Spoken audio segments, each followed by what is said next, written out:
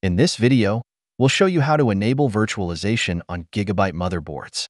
Start your computer and repeatedly press the delete key to access the BIOS setup page. Switch to advanced mode in the BIOS.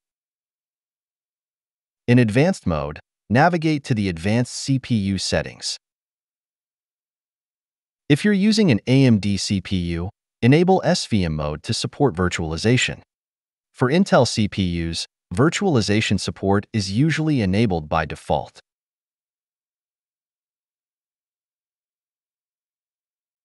Save your changes and restart your computer into Windows.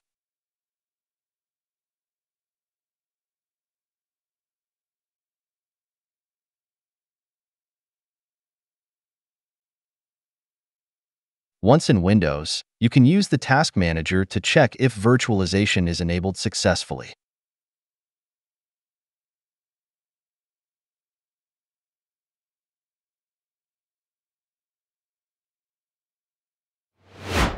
Additionally, if you're using an Intel CPU, you can enable VTD from the BIOS.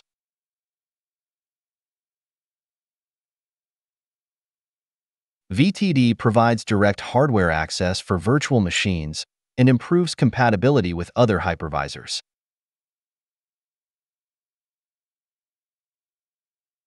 That's it. Thanks for watching. Don't forget to like and subscribe, and see you in next videos.